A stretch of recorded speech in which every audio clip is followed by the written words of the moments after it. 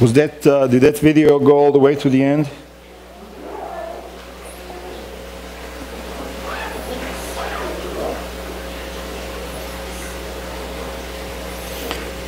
Well, today, you know, this sermon we are going to record um, and probably broadcast next Sunday night.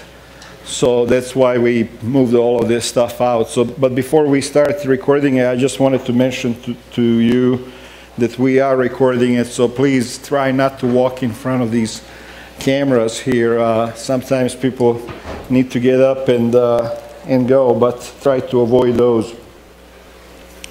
In any case, uh, I just want to welcome all of you here this uh, morning.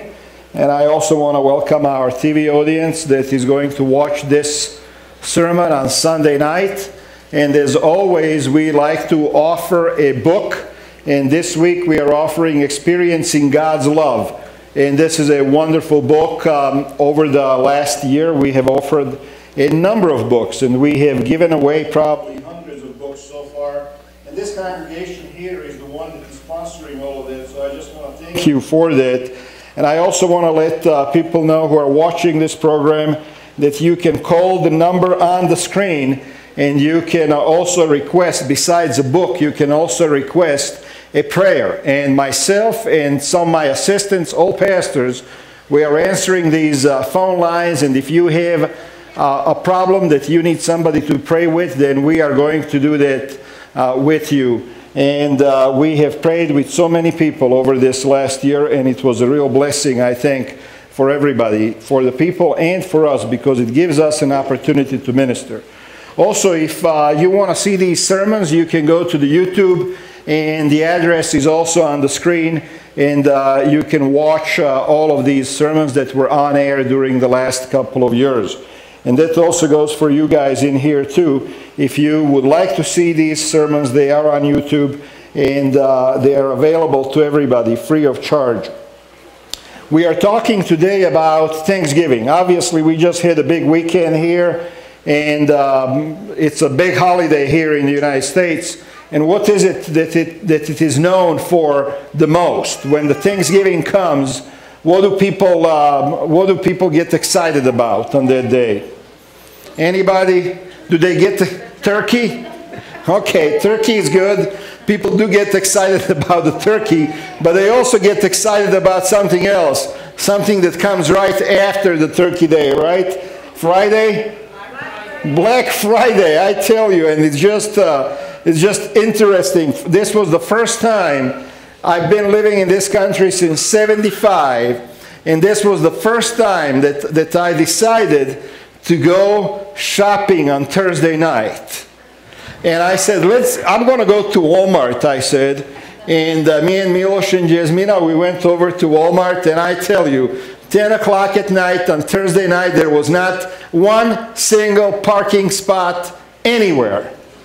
And we walked in there, and we were in there for about 10 minutes, and we actually had to fight uh, to, to come out of that store. I mean, didn't buy a thing. The place was just so extremely packed. Everybody, it seems like everybody was out there wanting to buy something, wanting to get a deal. Is this what we are thankful for? For an opportunity to buy more stuff? It seems like we are living in such a materialistic society that that's all that we are interested in. And we forget that we should be thankful for things. When was the last time that you were really thankful and grateful to God for the things that happened to you in your life? When was that?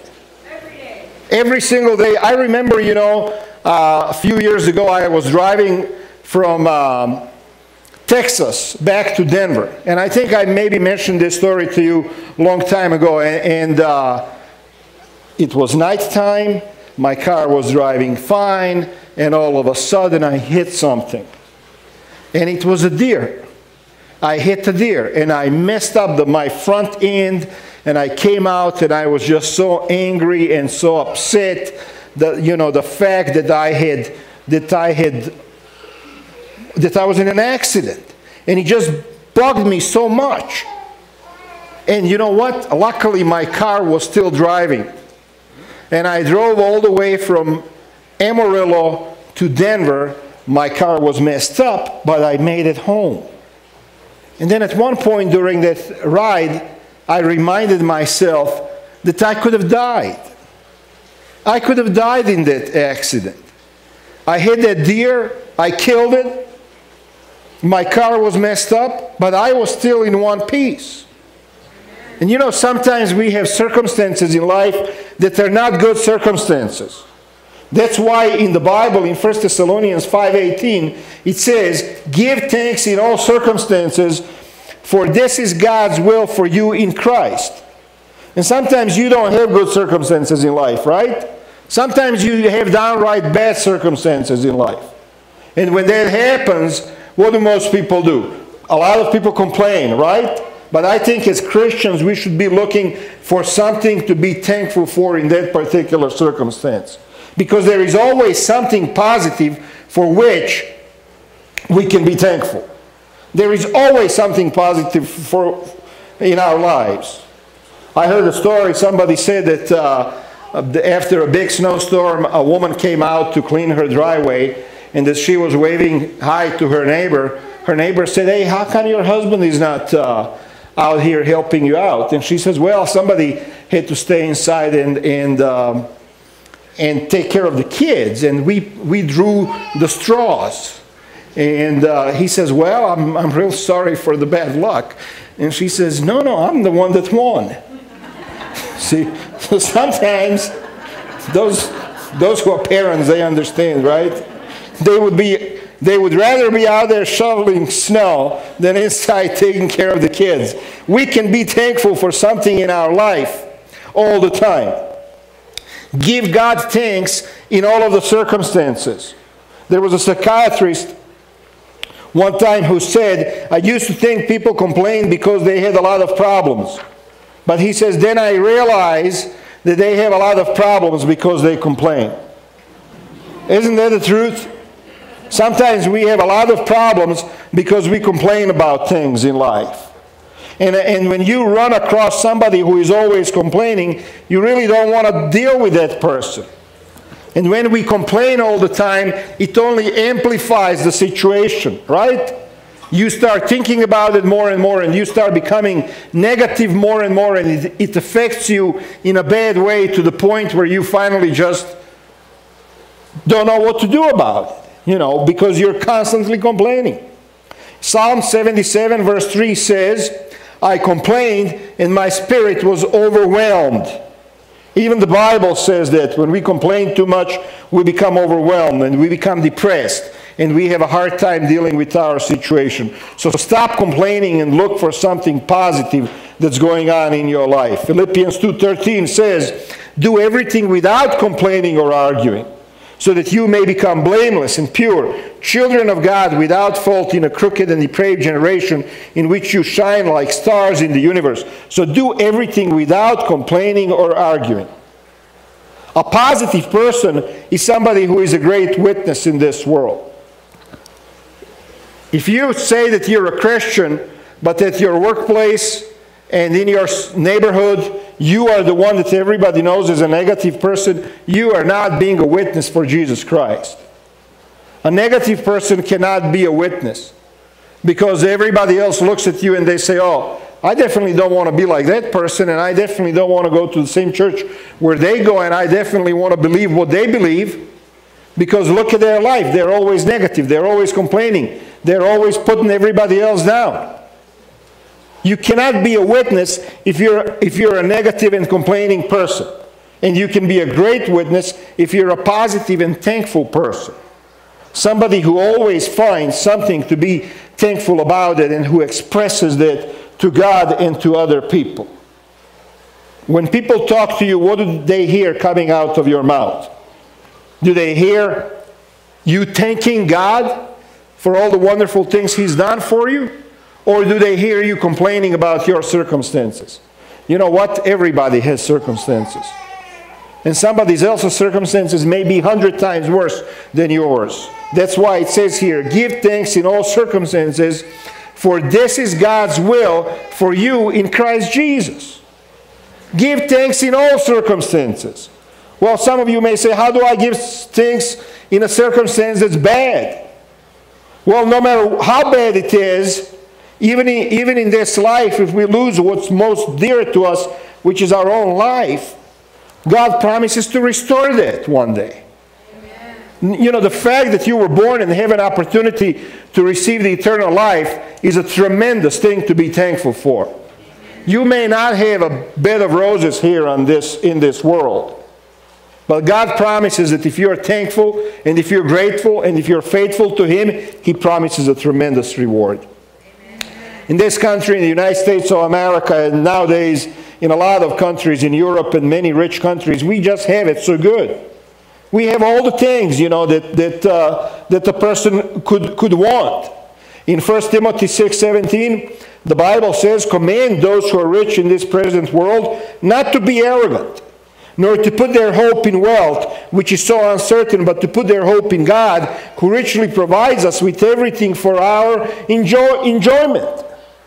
So if you are rich, if you are doing good, don't be arrogant, because that comes from God.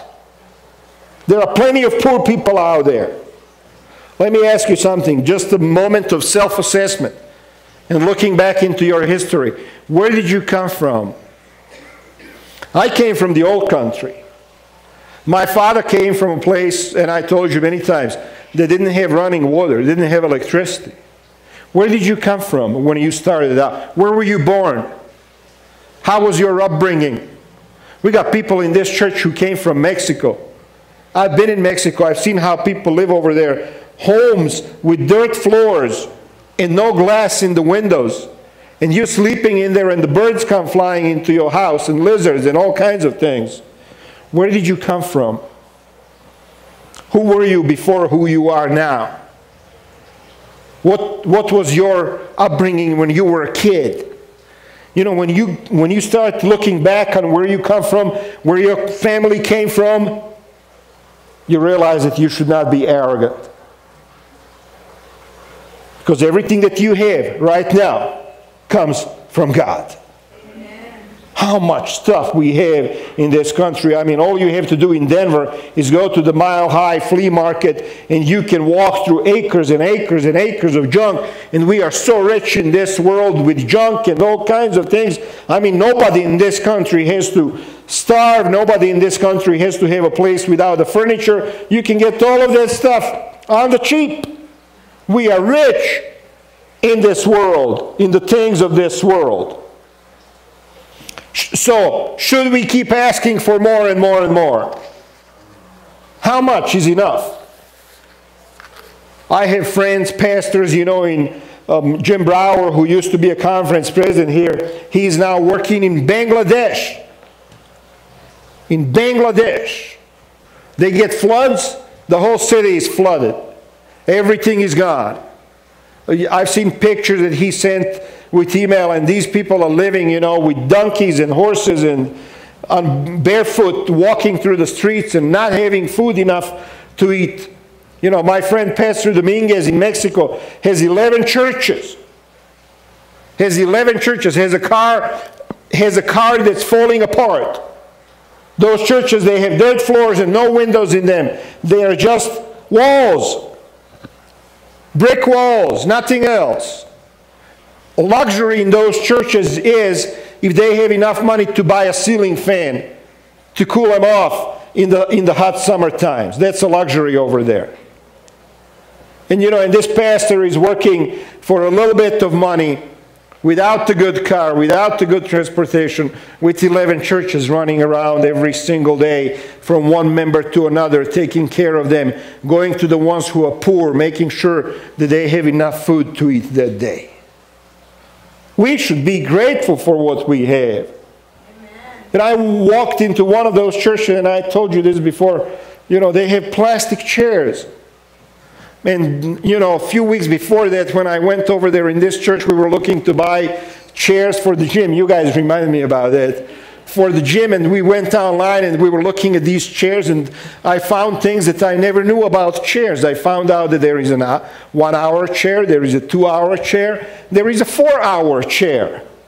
And you can buy a four hour chair for $120 and you can sit on it for four hours and supposedly you'll still be comfortable. Well, you go to over there to those churches, they have plastic chairs. And they were donated by a beer company. And it says so on them, you know. So that's what they have in churches. And you know what? They sit on those hard plastic chairs all day long.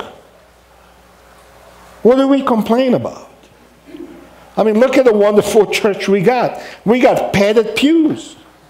When I came to this church 15, 16 years ago, the church decided to pad these pews, you know, and they've been nice and padded ever since. Pretty comfortable. You know, we are rich. We are rich compared to the rest of the world. We are rich. And not only are we rich, we are also enjoying it too much.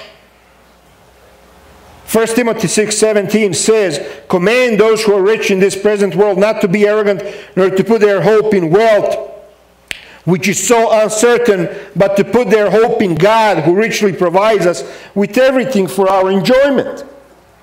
And so many people out there are focusing on the enjoyment. Black Friday, everybody wanted to get the 70 or 80 or whatever is the latest, an inch TV, flat screen. You know, and everybody's looking for deals. And everybody wants to enjoy themselves. And we love to have fun in this country, right? And people will do anything to have fun. And they will spend all kinds of money. And they will get up in the morning and they'll go on these trips and have fun, you know, and just do everything. Spend a, uh, huge amounts of money on enjoyment. Sabbath morning, have the churches late. They can't wake up. Monday morning, running late to work. Can't get up. We can get up to go fishing at 2 o'clock in the morning. You know, we can get up at 2 o'clock in the morning to go skiing, but we can't get up uh, uh, to, get, to get on time to work or to church or to do something for God. Somebody said that I like this quote We worship our work, work at our play, and play at our worship. Isn't that interesting?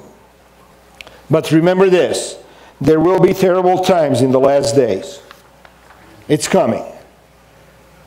2 Timothy 3 4 to 5 people have become lovers of pleasure rather than lovers of God, having a form of godliness, but denying its power, have nothing to do with them. God richly provides us with everything for our enjoyment, and I got to tell you, I think sometimes we enjoy it a little bit too much. They are now saying that children nowadays are spending 45 hours a week in front of TV and playing video games. 45 hours a week playing video games and in front of TV. This is a national study done here in the United States. What the heck is going to happen with those kids? They're going to go, all get overweight and they're going to have all kinds of problems and they're going to not develop their social skills. If you're sitting in front of TV and playing video games 45 hours a week, my goodness. You know, the point of, of this whole thing here it is that it is okay to enjoy life. It's okay to enjoy things. But it's not okay to completely focus all of our life just on more and more pleasure and on more and more enjoyment. If we do that, if, that, if that's what our focus is, then we lose our relationship with God. Then we forget God. You know, because we are just seeking for more and more and, and better and better. We have everything that we can ask for, and we are enjoying it too much. People in this country and in most of the Western countries, they're playing too much, they're eating too much, and they have too much pleasure. And then we complain too much. I heard somebody else say buffets. Buffets are not where we just eat. This is where we gorge ourselves. One time, uh, I don't know how many of you remember Dikanda. He was a member here years ago, came from Africa, and one time, you know, we decided to go to a restaurant, and we went on Colfax. There was a Chinese restaurant over there, buffet, all you can eat for five, six bucks back then, you know. And we started talking and we started eating and we started eating some more and we started eating some more. And about an hour and a half into this, I mean, we were just gorging, you know. At one point, he looked at me and he just couldn't eat anymore. I mean, he was just, we already both had our belts undone, you know. And he says, Pastor Gordon, I think we are past the point when we sinned. but isn't that the truth? We always want more. We want more. We want more food. We, food. We want more pleasure. Where does it stop? 1 Timothy 6.10 says, For the love of money and pleasure could be included in this is the root of all kinds of evil. Some people are too eager for money. Some have wandered away from faith because of their seeking money and pleasures of this world. When we lust for more and more and more of the things of this world, God goes out of the window. It's okay to enjoy things of this world and the things that we work for hard.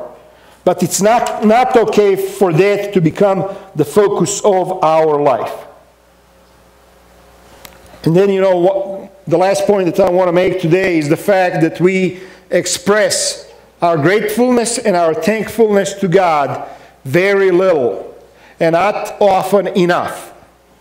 Amen. We just don't do it enough. We, we don't go to God on a regular basis and say, Lord, thank you for the things that you gave me today.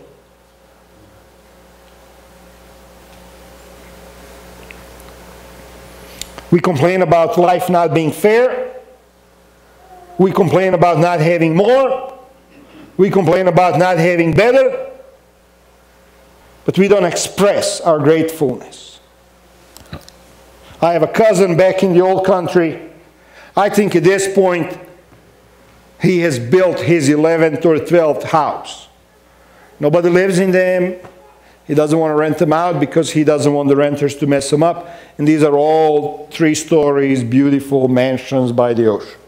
And he just keeps building them, you know. Why? Because he wants more. More and more and more. And when I talk to him about God, he says, Oh, don't talk to me about God. I don't believe in that when he has to pay the people who work for him properly, he doesn't want to do that. He haggles with them. How do you express your thankfulness to God? Which is what we should do. I heard a story that in Los Angeles one time, the traffic police received a letter, and in it was a ticket and the fine in cash. And the note says, I found this ticket on the sidewalk and I decided I wanted to pay this fine for this person because I don't think that they ever seen the ticket on their car. And, this, and the note says, I want to pay it for him on account of all of the times that I, that I parked for too long, for more than I should have. So he decided to pay for somebody else, person that he didn't even know. Because we all park our cars and sometimes we come back half an hour later and you know what? We didn't get a ticket. How often do you express your gratefulness and your thankfulness? Not just to God, but also to other people. How many of us could make it without other people? I couldn't be, be a pastor without you. If I didn't have people coming to church, I wouldn't be a pastor. I am not a pastor unless you are here. You are not the church without each other. We are not the church family without each other. Who amongst us here in this room has accomplished everything in their life on their own? I have my mother and father to be grateful to for, all, for where I am today. Along the way, there were so many people high school teachers and counselors and people who gave me jobs along the way. At that time, I thought maybe those, that those jobs stunk. But they gave me jobs. They trusted me. They paid me. They helped me become who I am today. They gave me the experience. I had a teacher in college, Hebrew, Dr. Schwartz in Chicago, public college. You know, he was one of the nicest guys that you could ever meet. And I didn't want to study Hebrew, I tell you, because it's a difficult language to study, but I had to take two semesters of it for my requirements because I was at Andrews, you know. So this guy, I tell you, he made the study of Hebrew an enjoyable experience. He's somebody I should be thankful for, for helping me be here today. And how many are out there that I have forgotten? Give thanks in all circumstances, for this is God's will for you in Christ Jesus. I heard the story that a man started a company and he listed God as the chairman of the board. Shouldn't God be the chairman of our life? Shouldn't God be the chairman of everything that we do? Amen. There was another story that I heard of a woman who was living on a farm, and one time she brought $10 to the preacher, and she said, This was back in the days when $10 was a lot of money. And she said the storm came through, and all of my, the other farms in, the, in my, in my uh, neighborhood were ruined, and mine was not. And she said, I wanted to give a special thank offering to church because God protected me. How often do you express your gratefulness and your thankfulness for what God has done for you? How many things has God saved you from in this world? How many of us remember when we get a raise at work to bring a little more to church, to God, just to say thank you? How many times did we have a situation where we just missed being in a car accident? Be okay to bring God extra 50 bucks and say, Lord, thank you from saving me thousands of dollars just a few moments ago. This is not just about money. I'm not trying to raise funds here for the church. But I'm saying, how do you express your gratefulness for the things that God has done for you? What are you thankful for today? I'm thankful for, another preacher has put this together, not me. I'm thankful for the taxes I pay because it means that I am employed. Amen. I'm thankful for the clothes that fit a little too snug because it means I have enough to eat. I'm thankful for my shadow who watches me work because it means I'm out in the sunshine. I'm thankful for the lawn that needs mowing, windows that need cleaning, and gutters that need fixing because it means I have a home. Sometimes we complain about all of those things. I'm thankful for the spot I find at the far end of the parking lot because it means I'm capable of walking. I'm thankful for my huge heating bill because it means I'm warm. I'm thankful about all the complaining I hear about our government because it means we have freedom of speech. I'm thankful for the lady behind me in the church who sings off key because it means I, that I can hear. I'm thankful about the piles of laundry and ironing because it means my loved ones stop by. I'm thankful for the, yeah, no, you're not thankful about it, Anna? They come and they just never don't want to leave and they leave everything dirty. Yeah, I hear both sides of the story there. Thankful about the alarm that goes off in the early morning hours because it means that I'm alive. I'm thankful for the weariness and aching muscles at the end of the day because it means I have been productive. Well, in everything that happens to us, there is something to be thankful for. I read a story about the young man who became a CPA, certified public accountant, and his dad owned uh, a little business. So when this young guy he graduated, he came back to his father's business, you know, and now he was smart and he had a diploma. And he looked at his dad and he says, "Dad, you just don't know what you're doing. I mean, look at this. Your papers are, your bills are over here, and your cash is over here, and your accounts receivables are over here, and you don't even know how much profit you're making here at this business." You know, his father, he looked at him and he says, you know, when I came to this country, I came, him, I came here only with a pair of pants. Now, your brother is a doctor, your sister is a teacher, you're a CPA, me and my me and your mom we own our own house, we have a car that's paid off, and we have this little business. So add all of that up, subtract the pair of pants, and there's the profit. Smart, isn't it? Well, let me tell you something. Add it all up. Add all of the blessings up that are in your life. If you start adding them up, you are going to realize how much God has blessed you. I saw a story about this kid that was born without arms and the legs. Somebody had to take care of him the rest of his life. The rest of his life.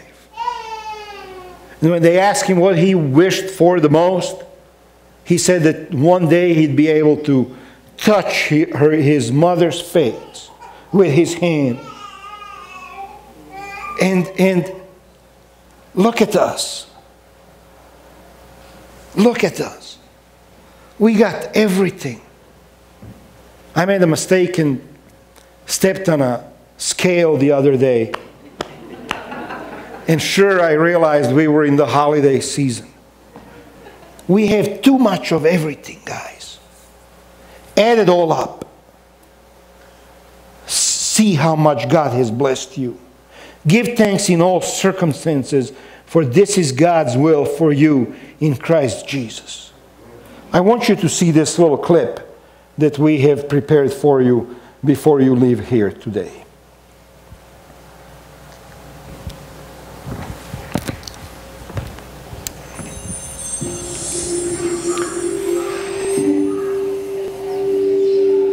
I finished my college here. I was working for Taj Group of Office Bangalore. I saw a very old man. He was eating his own human waste for hunger. I thought, what is the purpose of my life? What am I going to do? In a star hotel, I feed all my guests, but where in my hometown, there are people who are living even without food. And I quit my job and I started feeding all these people from 2002.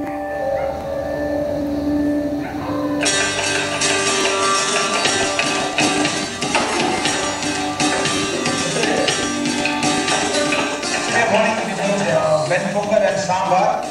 Pongal is a blend of uh, rice and dal a lot of uh, spices. Pongal and uh, Sambar was made for breakfast and for lunch we made uh, tomato rice and sabji. We fed the homeless, mentally destitute and the old people who have been left uncared of the society. People are suffering for food. They don't have food to eat. If you don't give them food to eat, they will die out of human hunger.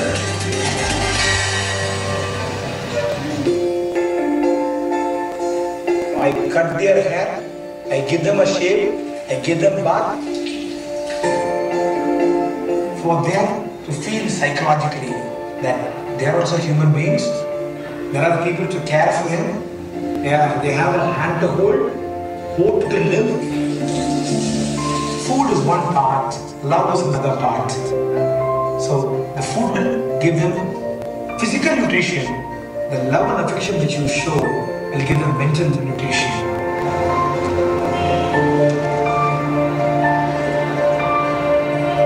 Being a Brahmin community and an Orthodox family, there are a lot of objections. Brahmins are not supposed to touch these people, clean these people, hug these people, feed these people. Everybody has got 5.5 liters of blood. I am just a human being. For me, everybody is same. There are, there are thousands and thousands and lakhs and lakhs of people suffering. What is the ultimate purpose of life? Is to give. Start giving. See the joy of giving.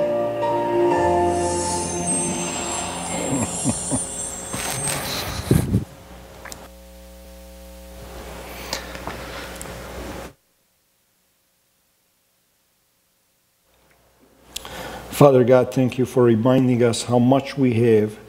Thank you for allowing us to live in this blessed country where we have more than we really need.